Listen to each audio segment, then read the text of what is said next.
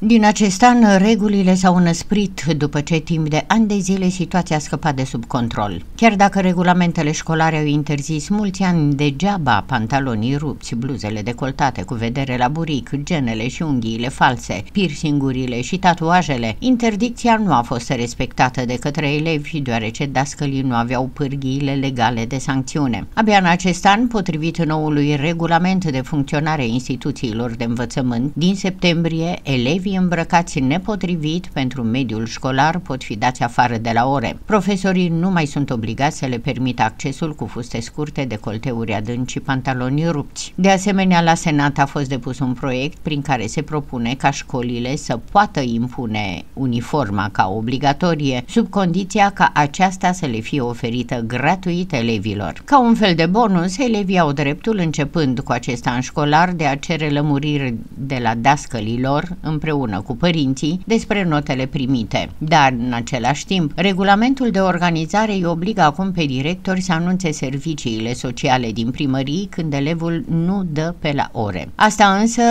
doar după ce elevul de gimnaziu acumulează 750 de absențe pe an și 540 de absențe la cel de nivel primar, adică abia după constatarea abandonului școlar, nici de cum ca măsură de prevenție.